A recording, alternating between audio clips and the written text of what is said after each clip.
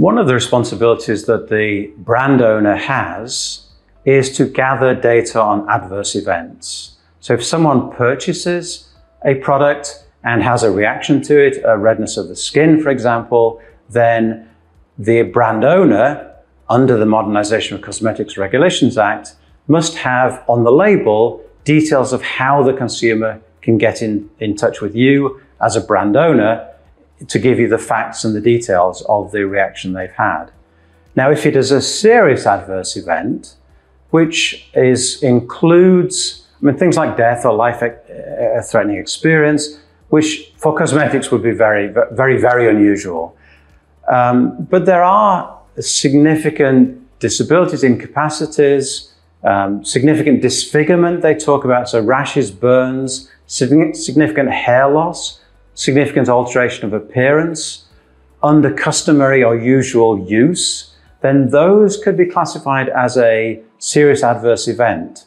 Those things that require maybe a medical intervention, maybe a medical intervention to prevent serious disfigurement um, or alteration of appearance, those would be classified as a serious adverse event. So you need to be ready to gather the adverse events, have somebody review those adverse events for seriousness, and if they do fall into the category of serious adverse events, then those have to be reported to the FDA within 15 business days of you becoming uh, aware of them. So it is a very, very tight deadline, which again, for uh, manufacturers, for brand owners which are outside of the US,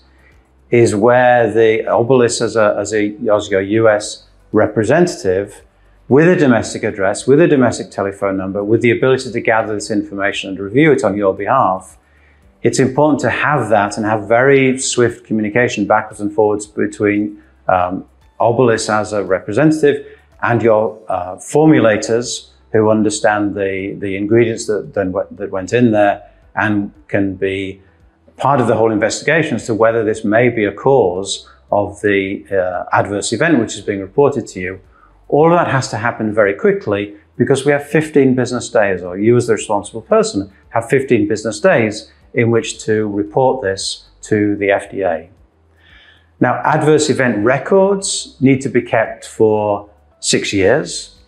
If you're a small business and they define small business as less than a million dollars um, turnover or gross annual sales over a three-year period, which will be updated by inflation. If you fit into that category of small business, then you have to keep the adverse event records for three years rather than six years if you get new medical information on a serious adverse event. So somebody had sought medical treatment, told you about it, you've reported it to the FDA, and they, uh, the, the individual goes back for further medical treatment, or there are further material developments which you become aware of. Again, you have to update the FDA within a 15 day deadline, 15 business day deadlines. So that whole uh, gathering the information, reviewing the information, reporting to FDA as needed, and then maintaining the, re the records with relatively easy access for inspection by the FDA